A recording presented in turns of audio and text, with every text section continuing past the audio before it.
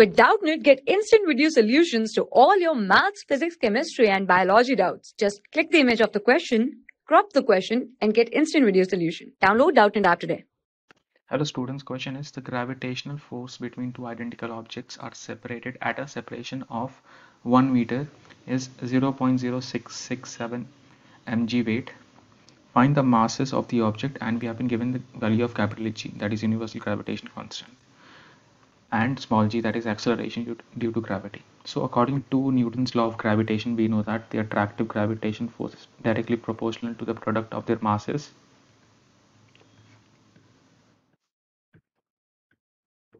Inversely proportional to the uh, separation distance to the square of separation distance. We are taking it as small r.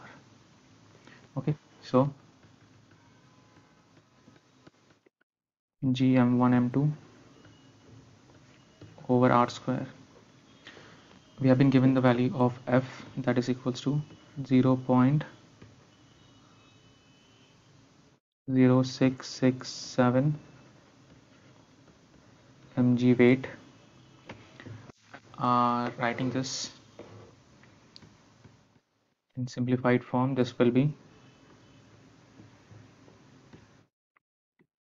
0 0.0667 times 10 to the power minus 3 times 10 to the power minus 3 kg weight okay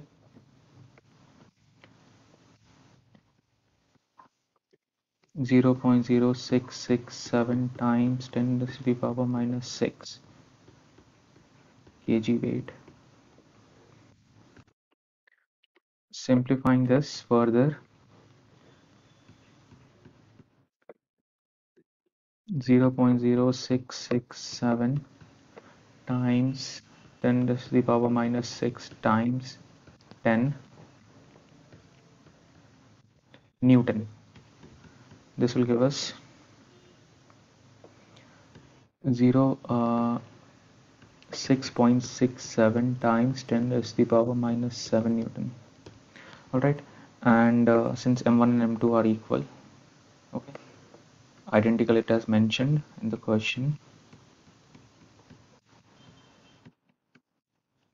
Okay and the value of g is also given to us. Now we will simply put all the values in this expression. So this will give us uh, 6.67 times 10 to the power minus 7 this is the f is equals to gm1 m2 over r square that is 6.67 times 10 to the power minus 11 times m square over r square that is 1 square.